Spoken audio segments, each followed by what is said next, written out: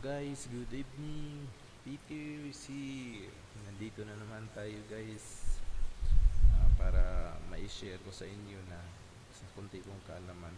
Alam niyo ba na itong cellphone natin, it will act as a mini desktop pag gamitan mo ng mouse at saka keyboard.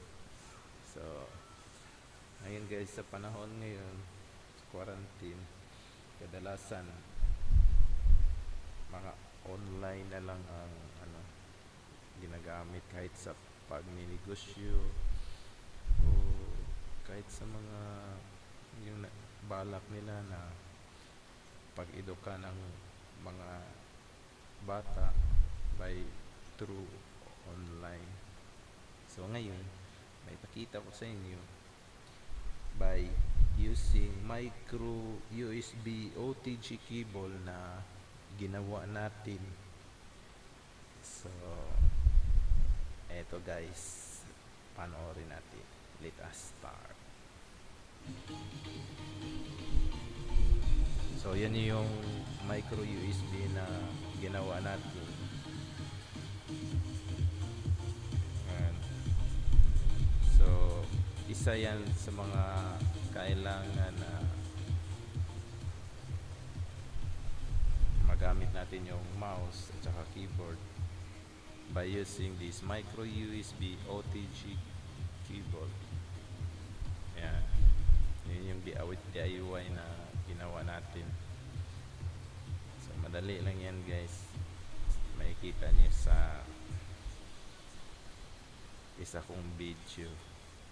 So, isa sa mga kailangan, yung hub, USB hub, saksak na natin yung OTG mic, ah, micro USB OTG cable. Tapos yung USB hub para magamit natin yon together the mouse and the keyboard. So, guys. Yan, umiilaw na.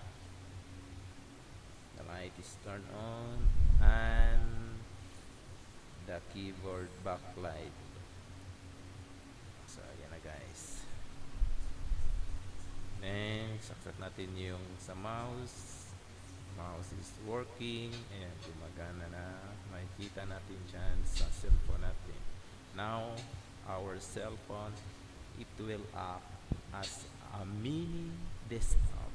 So, yan na guys. So, pwede ka rin mag-search o mag-type dyan by using your keyboard. So, hindi na kailangan na ano, magpindot ka dyan sa cellphone mo by your keyboard. So, madali mo na lang i-search o may type yung gusto mong i-type dyan guys. Ayan na. Play natin yung video sa YouTube kaso mahina yung signal.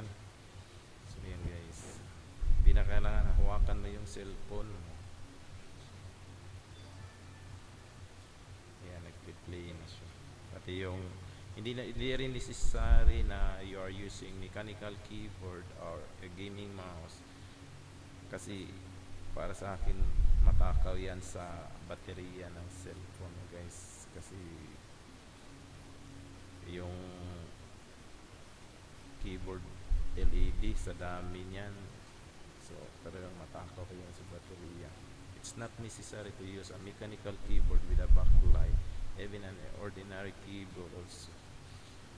Mag pwede mong magamit dyan sa OTG cable na gawa natin. So yan. Try din natin yung USB natin. Isaksak natin dyan sa hub check din natin kung gumagana ba.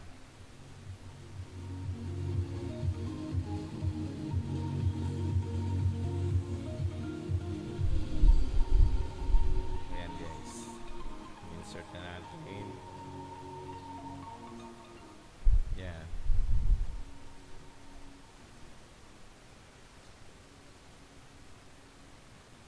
fast forward natin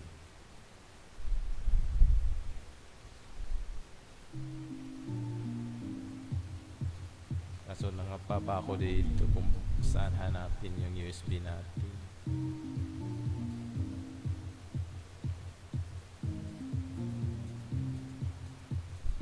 Hindi ko pa kabisado.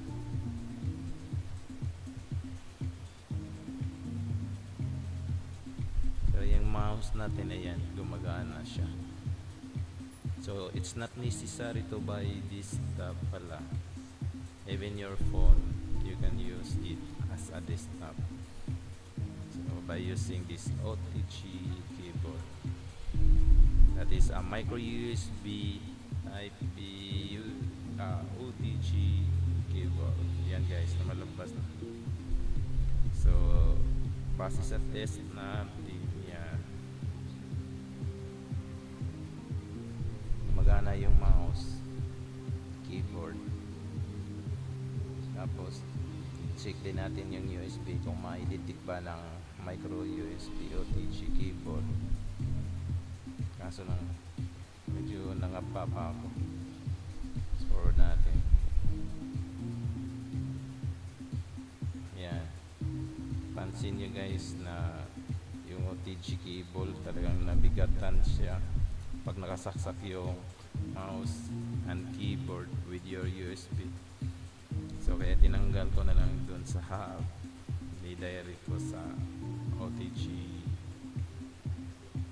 cable natin. Yan. Yun na i-detect na niya. So ayun guys, yan USB.